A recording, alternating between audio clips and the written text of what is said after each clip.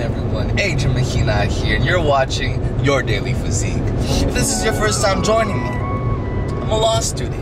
But at the same time, in today's video, I talk about the three P's that helped me get through law school. So make sure you watch through the entire video to make sure that you get advice that you need to succeed. If you haven't already, please make sure that you like and subscribe because what is going on everyone? I just arrived on campus. I have class at 1:45. It's 1:52. I'm running about seven minutes late, so I'll go ahead and give you my first tip of advice after class. Make sure you stay tuned.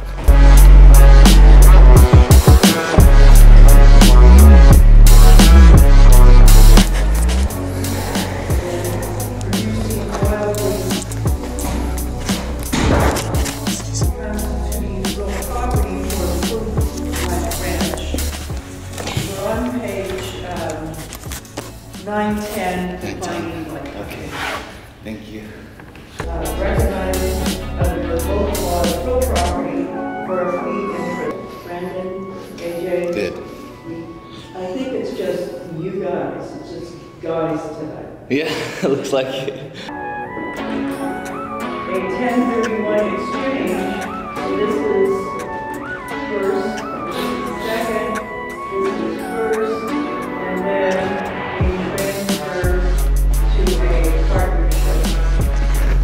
I got a 10 minute break, so I gotta make this super quick. And I wanna go ahead and talk about the reason why y'all are tuning in this video. So again, the first P, the first thing that really helps me get through law school, the thing that has helped me this far is is prayer. As you saw in the beginning of this video, I love spending the first 10 15 minutes of my day spending it in my morning devotional, spending it with God. Being able to pray in the morning allows me to recharge my energy for the day. It allows me to reset. You know, when you're ever on a website and it's lagging and you got to do something about it, and you either, you know, hit that little refresh button and then the page refreshes and it runs so much more smoothly. You know, the video is running so much more smoothly, whatever it may be. You know, prayer is that times a million. Law school is very exhausting. Not, not even law school, but life in general is very exhausting. It drains you. And if you don't have something to turn to where you can refill and recharge that energy and that, that spirit of yours, it's gonna be hard to go day by day. I get to pray to this being that I believe created the world, and not only do I get to communicate with this divine being, but this divine being hears me and answers my prayers.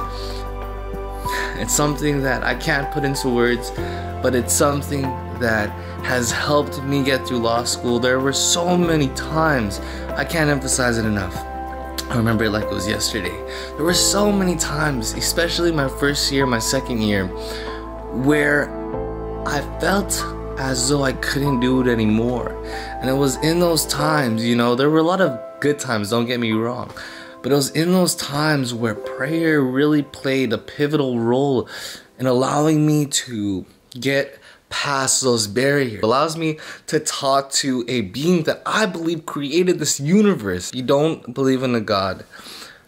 I definitely will be sending out good vibes. I'll be telling the, the universe to send you good vibes. Whatever you can turn to that can bring you joy and happiness, that can reset you, whether it's meditation or whatever it may be, you know, keep on doing what you're doing. Find something where you can replenish that spirit of yours.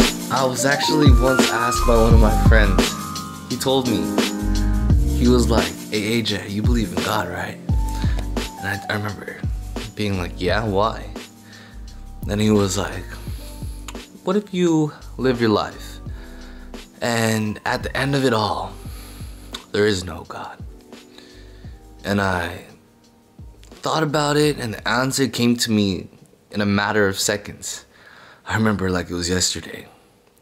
I told him if I were to live the way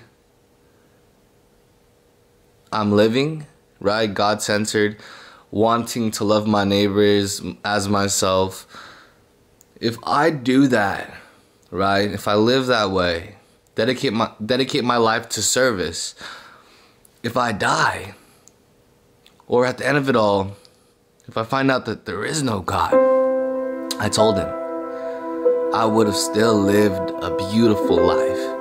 I would have still loved my life. I would have regretted nothing. Food for thought. The second P that helped me get through law school is staying positive. I'm sure you've been told, but staying positive is a choice. All you gotta do is wake up, stretch your arms in the air, take your big first morning breath, and all you gotta do is choose to be positive. Today, I, choose to be happy.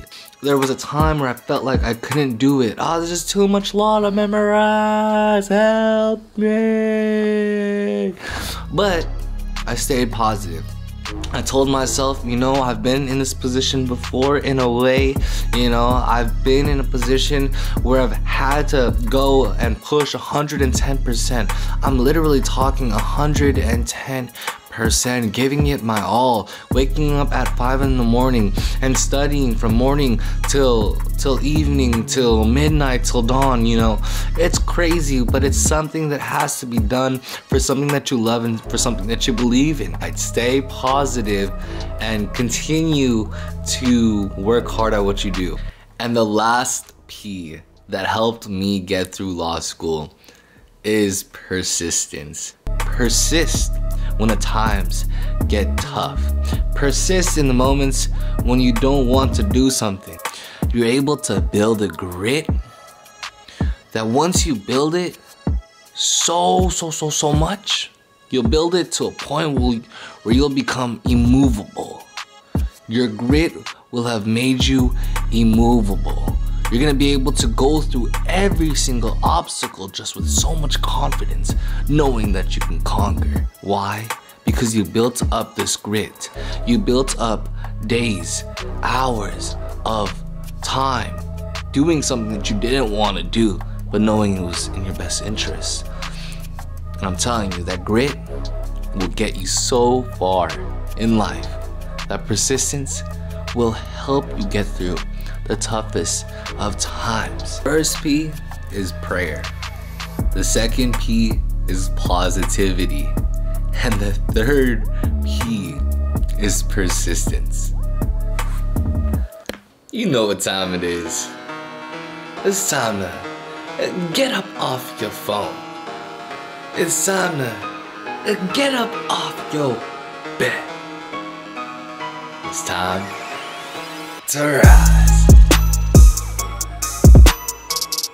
Uh.